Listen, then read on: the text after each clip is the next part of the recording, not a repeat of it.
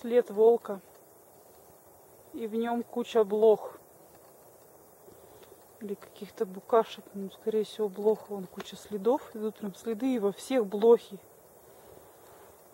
Даже прыгают. Такое бывает. Ого, по весне. Видимо, звери активны. Это нечто.